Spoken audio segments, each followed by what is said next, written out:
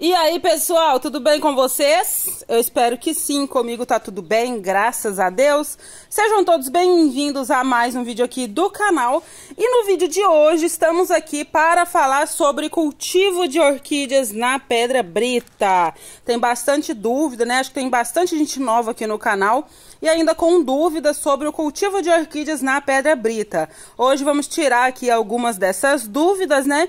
E eu trouxe aqui ó, um híbrido de braçávula e uma catleia que está planta plantadas aqui na Pedra Brita para mostrar para vocês explicar um pouquinho mais sobre esse tipo de cultivo que não, pessoal, não é um cultivo assim é, pouco conhecido. Hoje, né, é, muitos orquidófilos aí que co é, colecionam orquídeas, principalmente catleias valquerianas, né, são adeptos a esse tipo de substrato aqui, que no caso é a pedra brita.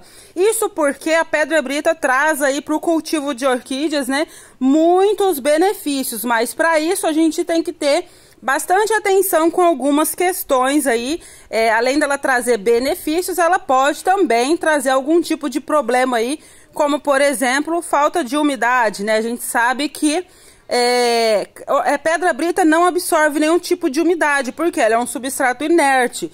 Então, ela não absorvendo umidade, ela vai secar mais rápido, consequentemente, fazendo a sua orquídea ficar mais tempo sem umidade. Então, aí você precisa o quê? Fazer uma rega com mais frequência, né? O que não é ruim porque você vai molhar e rapidamente ela vai secar. Então não vai ter excesso de umidade no substrato. Pode fazer rega dia sim, dia não. Aqui na minha região eu faço rega a cada três dias, né? Mas eu mantenho o chão do meu orquidário sempre molhado. Para quê? Para ajudar na umidade ambiente, né? E assim elas não vão ficar aí sem umidade aí para passar, né, os intervalos entre uma rega e outra. Pessoal, pedra brita, nós temos muitos benefícios aí, né? E um deles é o quê? É, a sua orquídea ela vai ficar plantada ali naquele vaso por mais tempo. Por quê? Substrato tradicional, ele tem vida útil aí de dois anos no máximo. Vem escrito lá no rótulo do fabricante, né?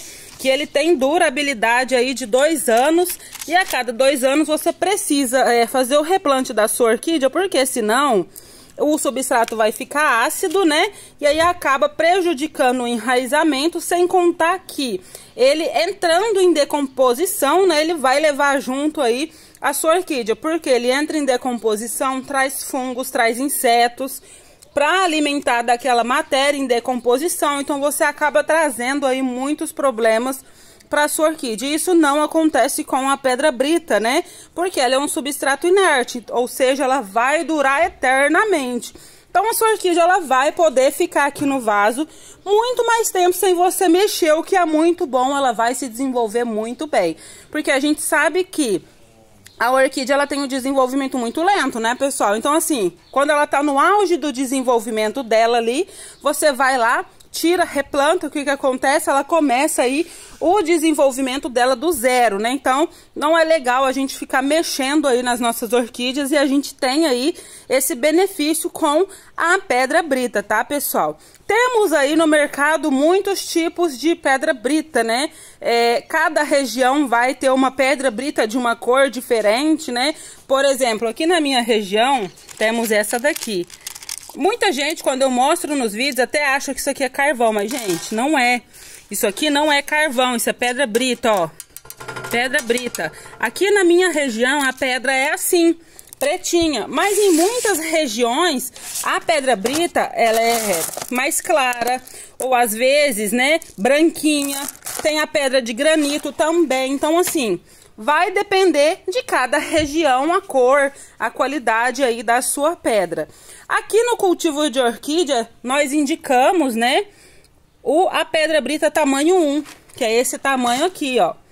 Dependendo da região, dá sim para você cultivar na pedra zero, como eu mostrei para vocês, mas a pedra zero ela segura muita umidade. Então, diferente de, da pedra 1 que você é, teoricamente teria que regar mais, a pedra zero você vai ter que regar menos porque ela também pode segurar muito excesso de umidade e aí vir a apodrecer é, as suas raízes, tá? O que não é legal. Na pedra 1, quando você faz a rega, todo o excesso da água sai e aí fica somente ali a leve umidade ambiente, né? É, as raízes não ficam encharcadas porque todo mundo acha que orquídea não gosta de água. Gente, orquídea gosta de água.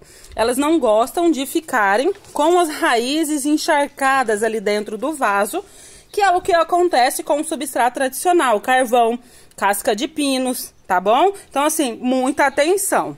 Lembrando também, pessoal, que não é só benefício, temos também algumas preocupações. E uma delas é o que? O peso. A gente sabe que pedra brita é pesado. Então, se você quer pendurar, igual tem aqui, ó, pendurada, essa aqui fica pendurada, essa fica na bancada.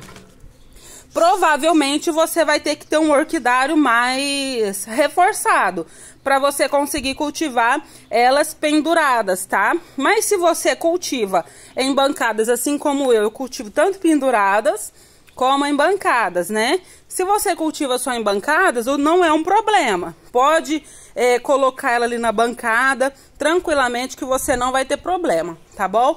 Mas tem muita gente que quer cultivar na pedra brita, quer cultivar pendurada, mas não tem um orquidário reforçado. O que, que vocês podem estar tá fazendo, pessoal, na hora do replante?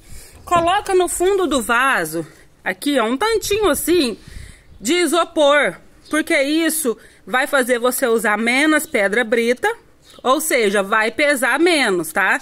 Pode colocar aqui embaixo uns dois dedos, ó, de isopor, tá? A maior parte, ó, vai ser de pedra. Aí aqui embaixo você põe isopor, não vai pesar tanto igual seria só com a pedra, que é esse caso aqui, ó. Muito pesado, certo, pessoal? Outra dúvida, adubação. Jéssica, como que eu faço a adubação na pedra brita? Pessoal, normal.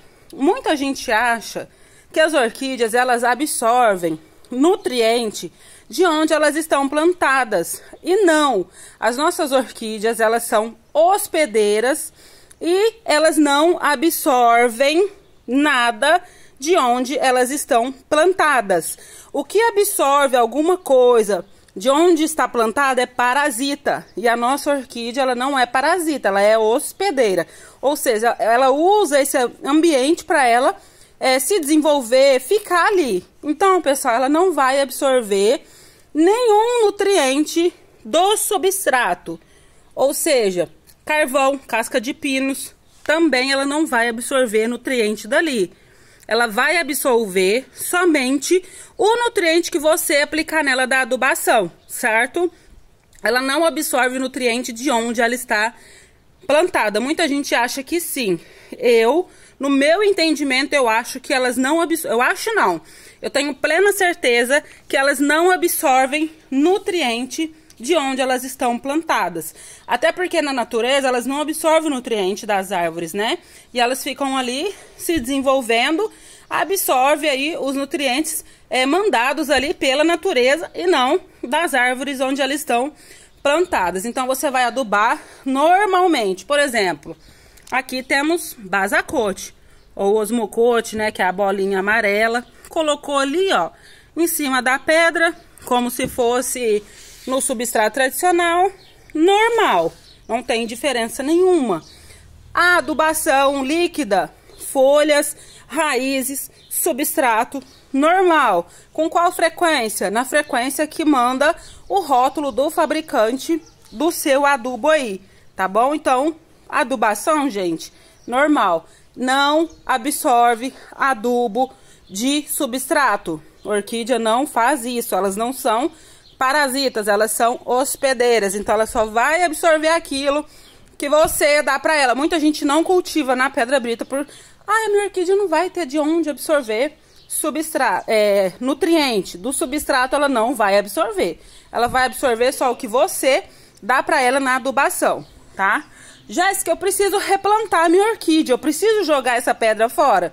Não, pessoal, você não precisa substrato inerte não precisa ser descartado, de diferente do substrato tradicional. Vai passar a sua orquídea para um vaso maior, tira ela ali. Provavelmente essas pedras vão estar todas grudadas nas raízes, se for uma orquídea que já tá ali há muito tempo, né? É, quando você tirar, vai sair as pedras com as raízes todas. Isso acontece quando ela já tá plantada muito tempo com o tipo de substrato. E aí você só acopla em um outro vaso, né? E completa aí com mais pedra brita. Ah, eu tirei a minha orquídea daqui e ela ainda não tá muito enraizada na pedra brita.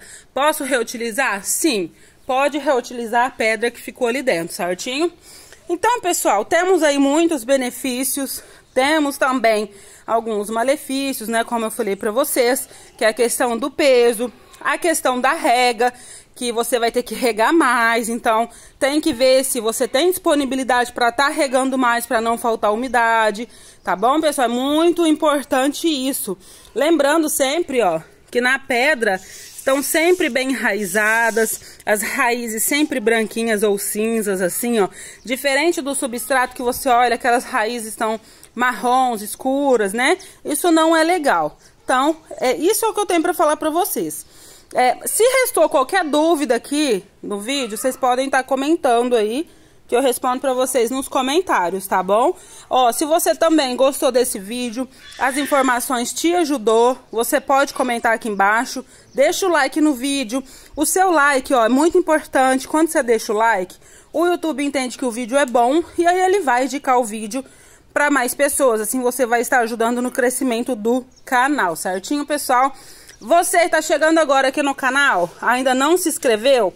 É só clicar aqui embaixo no botãozinho vermelho de se inscrever, 100% gratuito e você fica por dentro de todos os vídeos que forem postados aqui no canal. Qualquer dúvida deixa aqui nos comentários, tá? Que eu respondo para vocês. Beijo grande no seu coração e até o próximo vídeo, se Deus quiser e Ele quer. Tchau, tchau!